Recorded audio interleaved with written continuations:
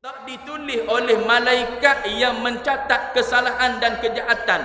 Bila kita buat sesuatu tu atas jalan tersalah atas jalan terlupa. Ha, walaupun menumpahkan darah sekalipun tersalah bunuh. Ha, tersalah bunuh.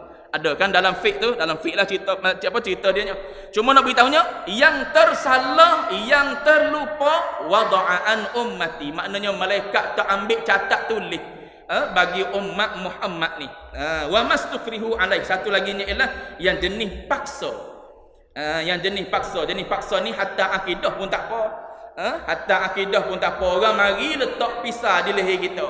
Aku nak mu kata ada Tuhan selain daripada Allah. Kita pun kata ada Tuhan selain daripada Allah. Tak jatuh akidah. Sebab apa? Orang ni sedang dipaksa. Dikerasi atas diri dia. Tak apa. Wada'an an ummati tak dapat tak ditulis oleh malaikat sebagai satu kesalahan. Tapi kalau saja-saja kata tak ada paksaan apa-apa, jawab dia murtad keluar daripada agama Islam wal billah. Baik. Jadi Adam AS ni walaupun nampak macam dia melakukan salah tapi tidak salah sebab apa? Nasya. Dia buat dalam keadaan terlupa dan istihad dia sendiri. Maka Uh, dia panggil hasanatul abrar sayyiatul muqarrabin. Salah dah bagi orang-orang yang hampir maka dia terlupa apa maka dia lalai kepada Allah Subhanahu wa taala. Cuma niat salah satu daripadanya ialah dipanggil qada mubram. Ha qada mubram ketentuan daripada Allah taala dah. Baik. Fa akhrajahuma mimma kana fi maka sebab mengeluarkan ia ia iblis akan keduanya daripada barang yang ada keduanya padanya daripada nikmat syurga. Fa akhrajahuma maka sebab ha, dikeluarkan Adam alaihissalam ni kerana peristiwa tadilah. Ha, kerana peristiwa tadi. Maka sebab mengeluarkan ia ia iblis akan keduanya Adam dan Hawa. Ni dia panggil isnad majah dia panggil. Ha, dipanggil fa akhrajahuma mimma kana fi ni dipanggil isnad majah sebab apa yang sebenar mengeluarkan ni ialah Allah Taala lah ha, sebab skrip Allah Taala nya ialah nak jadikan khalifah di bumi andai kalau Adam tu boleh pilih tanpa ada apa tanpa, tanpa boleh melawan melawan qada dan qadar Allah Taala boleh lawan qada membram tak keluarlah Adam daripada syurga tu Ha, tapi dah ketentuan Allah Ta'ala gitu. Aku nak jadikan khalifah ni di bumi. Bukan nak suruh duduk dalam syurga sampai bila-bila. Tak ha, maka Allah Ta'ala yang menetapkan begitu sebenarnya. Ha, so peristiwa tu hanya asbab-asbab-asbab yang Allah Ta'ala jadikan saja. Sehinggalah lahirnya manusia yang bernama Muhammad bin Abdullah Rasulullah sallallahu alaihi wasallam. Baik. Maka sebab mengeluarkan ia ia iblis akan keduanya daripada barang yang ada keduanya padanya. Apa dia tu? Barang yang ada keduanya padanya tu daripada nikmat syurga dia panggil bayan ha, bayan kepada dari barang yang ada keduanya padanya tu itu nikmat syurga. Iaitu Adam sebelum ni duduk dalam nikmat syurga. Maka keluarlah mereka berdua tu daripada nikmat syurga tadi. Baik. Lalu Allah taala kata kepada Adam wa qulna bitu ba'dukum li ba'din adu. Walakum fil ardi mustaqarrun wa mata'un ilahi kata Allah taala wa qulna bitu dan kami kata Allah Taala berkata turun kamu sekalian ke bumi. Ha. ayat ni Allah Taala sebut ihbitu. Kenapa diguna ihbitu? Ihbitu ni jamak. Ihbitu ni plural. Orang mengaji bahasa Arab ihbitu ni plural. Kenapa dia tak kata ihbita? Sebab yang turun tu kan Adam dengan Hawa je. Patutnya Allah Taala kata wa qulna bita Ha, turunlah kamu berdua Adam dan Hawa. Tapi dia sebut sini jamak. Ha, dia sebut jamak mana plural. So siapa siapa yang ramah-ramah tu? Ha, maka ulama kata yang ramah-ramah tu termasuklah situ iblis. Ha, iblis pun disuruh turun oleh Allah Taala ke bumi.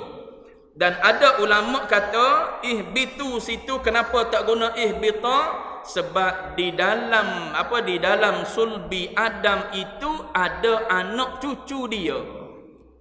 Maka khitab Allah taala perintah Allah taala bukan sahaja perintah kepada Adam dan Hawa bahkan perintah kepada seluruh cucu anak Adam tu yang ada di dalam sulbi Adam alaihi salam turun kamu semua di bumi. Ha gitu jawab ulama ha? ha kalau tidak dia jadi bahan apa? Bahan kritikan orientalis lah. kenapa sini kata ihbitu sebab ada ayat lain kata ihbita ha ulama jawablah kau ha ulama jawablah kau kenapa di sana ihbita kenapa di sini ihbitu ha banyaklah. Ha, ulama apa buat keterangan supaya apa? Supaya Quran ini tidak dikritik oleh orientalis. Orang yang tak nak beriman dengan al-Quran dia cari salah ha, dia cari salah jadi ulama jawab eh bitu sini maknanya iblis anak cucu Adam yang ada dalam sulbi Adam alaihissalam tu semua diperintah turun ha, sebab masa sujud Adam apa masa sujud malaikat kepada Adam tu sujud pada semua kita dah usjudu li Adam Ha, sujudlah kamu semua kepada Adam. Adam dan termasuklah anak-anak Adam yang ada dalam sulbi sulbi Adam pada masa itu. Ha, maknanya kita duduk dalam sulbi Adam pada masa itu pun ha, apa mendapat juga penghormatan daripada malaikat tu iaitu sujud ha, yang dilakukan oleh malaikat ketika dalam syurga tersebut. Baik. Wa qulna bitu ba'dukum li ba'din adu. Ba'dukum li ba'din adu. Kata Allah Ta'ala, turunlah kamu sekalian ke bumi. Allah Ta'ala sebut kataan hubut. Perkataan habata diterjemuh dengan makna turun. Ha, bila sebut turun, tak kita daripada atas ke bawah. Ha? Ha? Bila sebut turun, daripada atas ke bawah. Dah syurga duduk jehah atas. Ha? Syurga duduk belah atas lah. Dah, dia ada habata dengan makna maknawi. Ha? dia ada habata ni diguna oleh orang Arab dengan makna maknawi. Contoh apa? Habata fulan. Orang Arab guna ayat. Perkataan habata juga diguna. Habata fulan fi nazari ba'da fa'ala kada wa kada. Ba'da an fa'ala kada wa kada. Orang ni jatuh ataupun turun pada pandangan mataku selepas dia buat benda sekian sekian sekian. Ha, guna habata juga. Ha, itu sebab kata habata ni bukan makna ke semua habata turun daripada atas turun ke bawah dah. Makna kadang-kadang boleh makna maknawi. Jatuh dari sudut bukan atas ke bawah tapi jatuh dari sudut nilai. Ha, jatuh dari sudut nilai. Jadi bukan makna sini tengok kena lenggok di atas. Ha, syurga dulu atas. Lenggok ke atas lah kita syurga. Bah, kalau kita fikir lebih jauh lagi ke zaman canggih kita hari ni kita boleh tengok sendirilah bumi kita ni bukan dia duduk atas benar ni dia duduk terapung ha, duduk terapung bila duduk terapung kalau kita di Malaysia ni kata jehoh atas-atas kepala kita dia jadi jehoh bawah bagi orang bawah kita. Kita kata Allah Ta'ala duduk di atas atas kepala kita. Kita di Malaysia kata duduk atas kepala kita.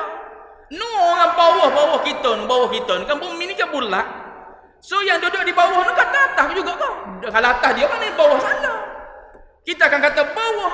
Dah yang duduk belah sini. Yang duduk belah sini kata bukan belah atas. Dia kata belah kiri aku. Dia tahu. Yang ni kata belah kanan aku. Ha, dah belah mana Allah Ta'ala duduk. Ha, zaman kita canggih sepatutnya kita lagi cerdik.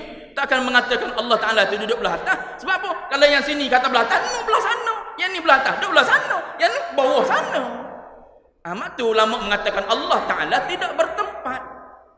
Ha, istawa istawa dengan makna istaulah. Begitulah. Turun tu bukan bermakna turun daripada pihak atas. Pihak atas belah mana? Tak tahu.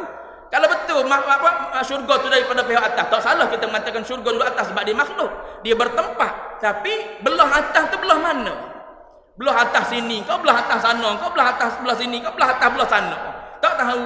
Ha, maka ulama kata ambil makna maknawi Ha, ambil makna maknawi. Sebab apa? Orang Arab pun ada guna habata tu dengan makna dengan makna maknawi, bukan dengan makna hissi. Baik.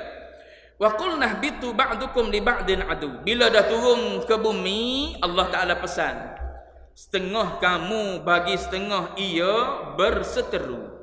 Setengah kamu dengan setengah yang lain nanti akan berseteru. Pada zalim setengah akan setengahnya. Maknanya kamu akan bergaduh nanti atas muka dunia ha, akan jadi seteru nanti. Ada apa di muka dunia nanti. Ha, iaitu musuh di antara manusia dengan syaitan. Satu permusuhan di antara kita dengan syaitan sampai bila-bila. Ha, apatah lagi? Iblis. Iblis syaitan siap bersumpah dengan Allah Taala siap minta dengan Allah Taala supaya ditangguh ajar dia sehingga ke akhir dunia? Maka Allah Ta'ala benarkan usia iblis ni dilanjutkan sehinggalah ke penghujung usia dunia. Tak akan dimatikan dia. Ha, maka kerja buat dia, dia bersumpah depan Allah Ta'ala. Qala fa bi'izzatik. Dengan kemuliaanmu wahai Tuhan. La ughwiyannahum ajma'in. Aku pasti akan sesatkan mereka ini sehinggalah mereka ni jadi pengikut-pengikut aku di dalam neraka nanti. Ha, gitu cara iblis beritahu.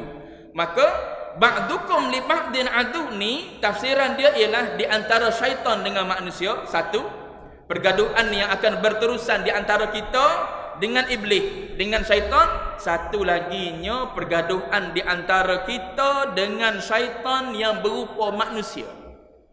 Ha tu ingat tu ha? syaitan ni ada dua bentuk. Satu syaitan yang memang betul-betul syaitan. Memang betul-betul syaitan. Yang ni istihak untuk memusuhi kita.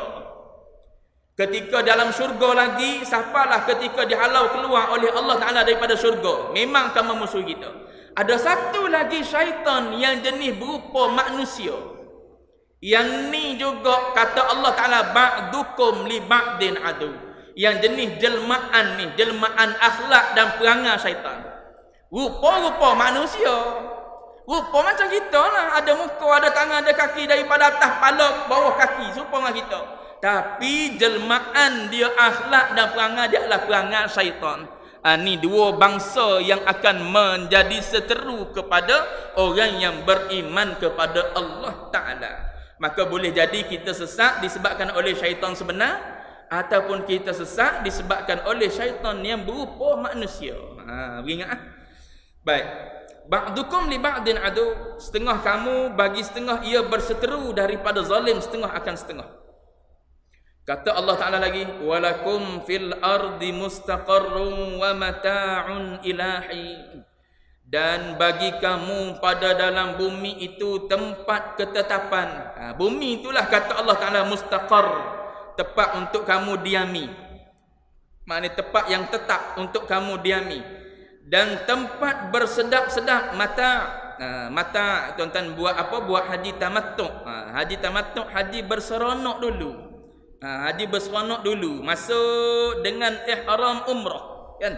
Ha, masuk Mekah dengan ihram umrah. Siapa-siapa buat umrah, selesai tak? Boleh pakai haji biasa lah. Tunggu musim haji ni apa nak? Ha, tu dipanggil haji tamattu. Sebab tu kena dam. Nak pergi beribadat tapi buat haji tamattu. Dah kita pergi awal nak macam mana. Ha, kita pergi apa 20 hari sebelum wuku takkan nak duduk dalam ihram 20 hari. Ha, 20 hari duduk dalam ihram jadi apa jadi orang tak kenal kita. Dengan misalnya panjang, dengan jangguknya penuh kita. Nak cukur tak boleh duduk dalam ihram haji. Ha, sebab tu orang pergi, awal, dia buat haji tamattu. Ha, orang yang pergi lewat, dia buat haji lain. Ha, dan sebagainya lah.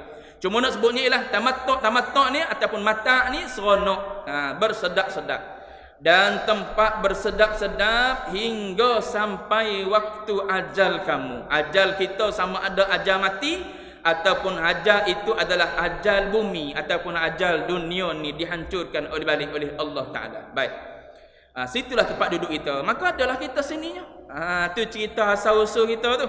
Ha, asal-usul kita daripada tuk kita dikeluarkan oleh Allah Ta'ala turun ke bumi. Maka dengan sebab itulah kita duduk di sini. Siapalah ke hari ini kita duduk ha, berseronok, bersedak-sedak di atas muka bumi ni. Siapa bila? Siapa mati.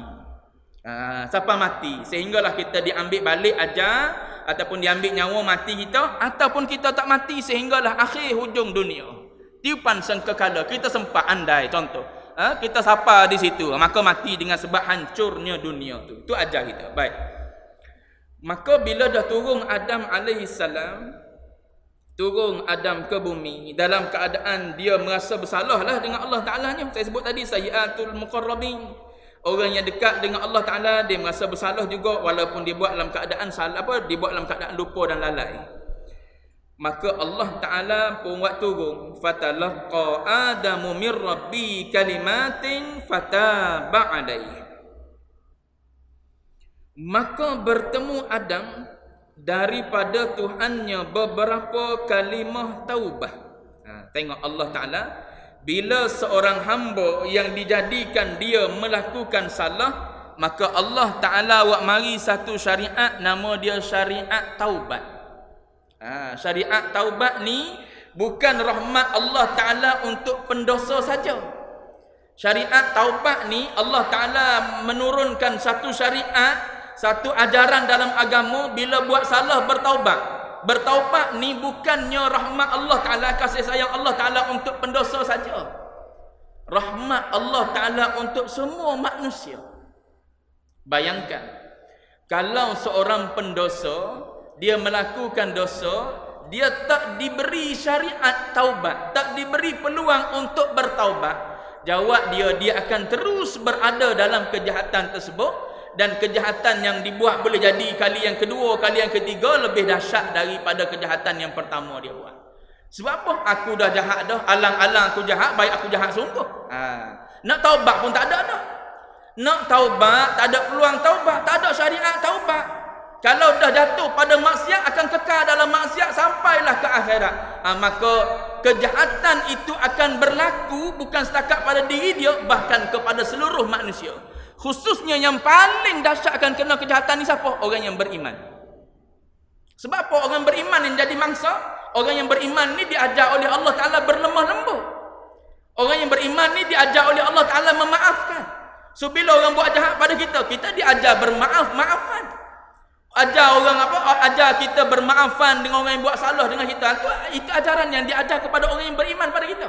Bukan salah kita balas, tak salah kita balas. Tapi yang utama bagi orang yang beriman ialah memaafi orang yang memutuskan silaturahim kita menyambung orang yang buat salah kita maafkan itu diajar kepada orang yang beriman so orang yang paling banyak akan merasai tekanan terhadap pendosa ni ialah orang yang beriman